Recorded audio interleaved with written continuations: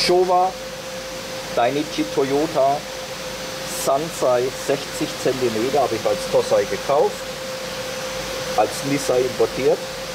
Dainichi Toyota Fische sind die ersten zwei, drei Jahre nicht so gut im Wachstum, wobei 60 cm für einen Sansai sehr gut ist. Qualitativ ist der Fisch sehr gut.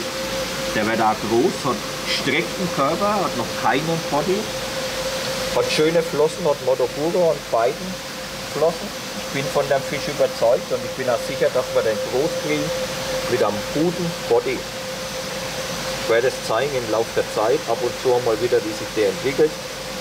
Frei ist er noch. Wenn jemand Interesse hat, gern. Showa Dainichi Toyota Sansai weiblich.